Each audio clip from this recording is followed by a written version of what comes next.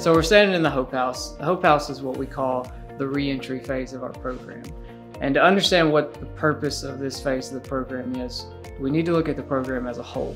The first eight months, when the men arrive here at our campus, they they experience what we call the training phase. And as part of the training phase, you get spiritual principles, spiritual practices that give you a new approach and a new way to look at life, a new way to cope with life.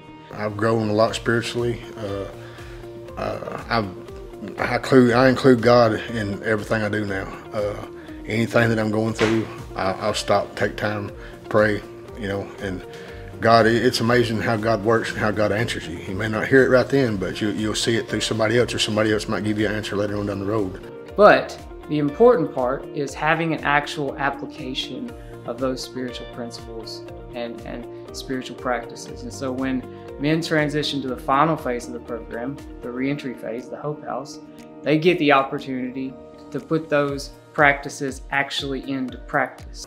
I know when I first got to the Hope House, just going to the store, you know, you, you're around all the temptations that's kept you from uh, the center. It's uh, it's got us in kind of a shelter to me. I guess would be a good way to put it.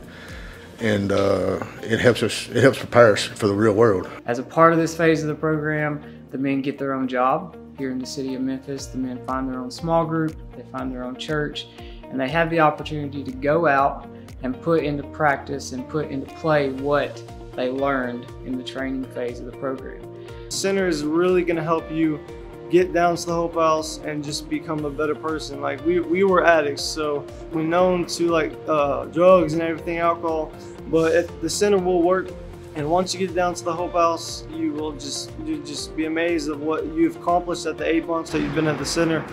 Many things have the opportunity of happening when men are in the reentry phase.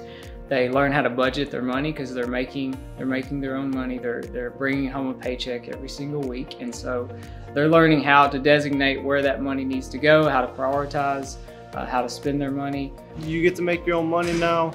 You get to uh, go out and uh, buy your own food and everything, and uh, you get to uh, experience like the real life uh, situations and problems, and it actually helps you become a better person and. Um, just being just being transitioned back into life. They start to build new relationships as a part of their church. They serve, they volunteer at their church. Um, they participate in Celebrate Recovery and meet other people who are going through similar situations in life as they are.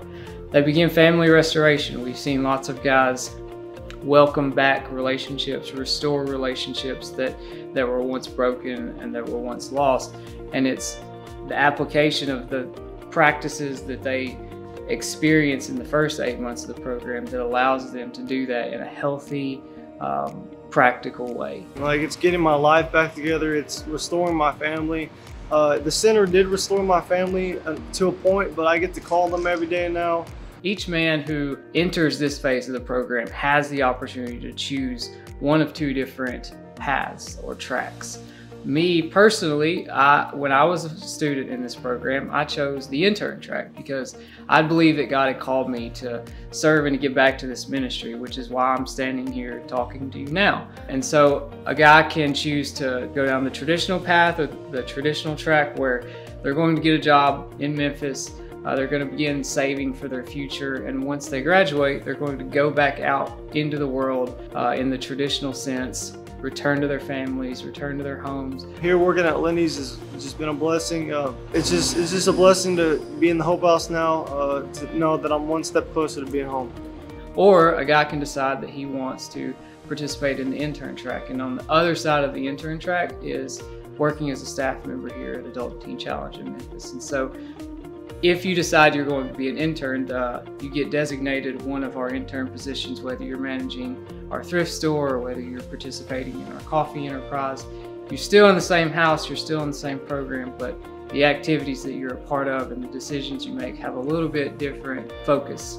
Uh, the reason I chose to become an intern is because God put it up on my heart. You know, there's a lot of incidents that led me up to coming to Teen Challenge. Uh, he saved my life and give me grace so many times when I didn't deserve it. I feel like this will be part of me giving back. Is, is you know helping these guys and and uh, showing them that uh, you know this might be giving them a little bit of hope. You know, somebody like me come through it and made it through the program. You know, and hopefully it'll it'll give them some hope as well. Also, we create an environment here of, of community living because one of the important things that you need to know how to do when you're re-entering your life is to live with other people and and to uh, manage relationships and manage personalities and so the guys live here in this house and they learn how to get along and they learn how to share space and they learn how to share life and live life alongside other people who are trying to make the same good choices that they are. If you know somebody that you believe could benefit from anything that I've just described, please find a way to reach out to us. You can find information on the website, you can fill out an application on the website, or you can call our hotline.